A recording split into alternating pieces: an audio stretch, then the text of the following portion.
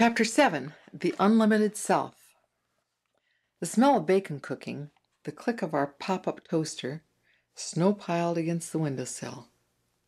A very ordinary morning. So why did I feel so depressed and miserable? Then I remembered, and I wished I hadn't. For a few moments I struggled desperately to blot from my memory the conversations with Rena. Failing this, I replayed it a couple of times, trying to find some flaw in my argument of futility, in my feeling of impossible inadequacy. I kept remembering the Macro Society's educational system and comparing it to my own early years. I remembered the incredible vitality, joy, beauty, intelligence, superhuman awareness, love, understanding, kindness, and patience that had been demonstrated by my Alpha. And I was seven years older than their oldest. Leah made a mistake, I thought. She should have created for me the body of a newborn baby. Then I could have started out in the first triad, and eighteen years later be on an equal footing with the others in the seventh triad. How could she have made such a mistake and still have demonstrated ninth level awareness? And what was it Rena had said just before I lost consciousness? Something about asking for help? That whenever I really wanted help, and not just pity, I would always receive it. Obviously, Rena, at the highest level of awareness in the macro society, was trying to tell me that it wasn't impossible. Could she and Leah be so wrong? Was I only asking for pity? If there's no hope, pity is all you can ask for. But how could I have hope? They were so perfect, I was so imperfect, and never the twain shall meet. I began laughing softly to myself at the ridiculous nature of my predicament. I was a perfect example of micro man who sees himself as limited, inadequate, and doomed to ultimate failure. I searched my mind for hope, a way out.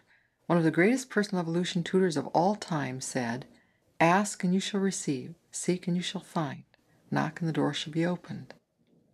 He couldn't have put it much stronger. And of course, he also said, If you have faith the size of a mustard seed, you can move mountains. That's all right for macro giants, I thought. But how the devil do micro midgets like myself ever get up enough faith to even ask, much less move mountains? But if I want help, really want help, how could I have selected a better environment than the macro society? Obviously, they knew and understood far more than I did. Maybe they even knew how to help me become a giant too, so I could live with them on an equal basis, maybe. My thoughts were interrupted by Carl, insisting that I get up and join him for breakfast. I looked at the clock and saw that it was almost 8:30. "Hey, Carl," I called. "How come you're not in class this morning?" His fuzzy black hair preceded his face around the doorway. He always wore it natural. "You've really lost track of it all, with all your shuffling back and forth 174 years every night. It's Sunday here in 1976. And if you try real hard, you'll remember that this micro roommate inhabiting this micro society doesn't work on Sunday. He just goofs off all day. Okay, okay, I said. You'll find me very humble this morning. I've been dreaming about just how really micro I am.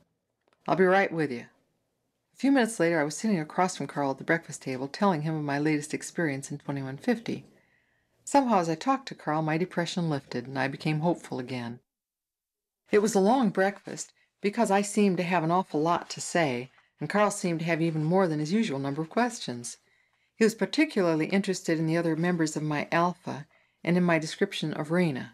He kept asking me for more detailed descriptions, and I began to realize that after I had used up all of my personality superlatives, I didn't have much more to say about them. Finally, Carl said, You know, John, it seems to me that you're describing gods and goddesses and not the ancient Greek or Roman variety either, because they all had their share of weaknesses or imperfections. Not so with these you describe. Tell me, are these real people that are perfect, or are you just demonstrating your lack of macro awareness? You're right, Carl, I admitted. That's my problem. They appear so perfect, so superhuman, that I can't see how I could ever be like them. And I can't imagine how I could be happy for very long being a midget among giants for the rest of my life either. In other words, John, you found the snake in your Garden of Eden, and it's you. Well, I said reluctantly, I hadn't thought of it quite that way, but I guess you're right. It was the poison of my own self doubt that made me want to run away from 2150 and its impossible challenges. Are you saying that you're ready to give up your dream world? Carl asked. I realized that I wanted to avoid the question. I didn't want to have to answer it. I said, I don't know how to answer you right now. All I really want to do is get drunk and forget the whole thing. You what? Carl's face was lined with concern. It's that bad, John? Carl knew that I'd been drunk only once in my life, back in Vietnam. Oh, no, not really, Carl. Nothing's that bad except living in a world where killing women, old folks, and children is a patriotic duty. No, I'm not going to get drunk. I'm going to write it all down. Maybe that'll help clear my mind. Then I'm going to do a whole lot of thinking. For the rest of the day, Carl left me to myself while I wrote my journal and did a lot of very hard thinking. By late evening, I had a much better realization of the strength of my micro self, which sounded like a drum beating out the old refrain I can't, I can't, I can't.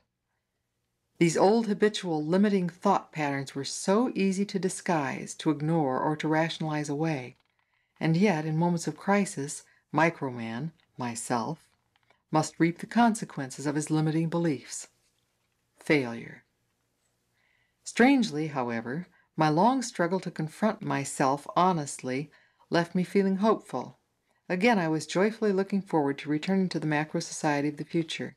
I had again discovered that if I was honest with myself and refused to run away from a difficult self confrontation, I would sooner or later see a balanced picture in which there was both light and dark. Was not easy to see both sides of a coin from a micro, one sided view. Just before I went to bed, Carl finished reading my journal and, without saying a word, walked over to me.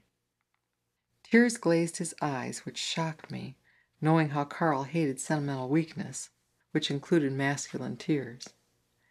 Then, obviously too caught up with feeling to speak, he took my left hand with his, hesitated a moment, then put his right hand gently on my face. Before I could collect myself, Carl was noisily running the water in the bathroom with a closed door between us. I thought again how difficult it was in our micro society to deal openly and honestly with our thoughts and emotions. We were taught to be ashamed of such large portions of our mind that we devoted whole lifetimes to denying them, thus depriving ourselves of some of the greatest joys available to man.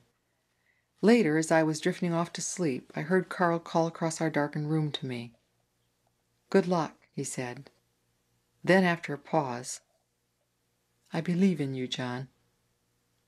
I murmured my thanks and decided that the hardest thing for Microman to do was to believe in himself. But then, how can anyone believe in himself when there's so much of himself that he condemns? My last thoughts before dropping off to sleep involved a conclusion that before I could ask for help, I had to believe that success was possible. That meant I had to accept and believe in myself as unlimited except by my own thoughts.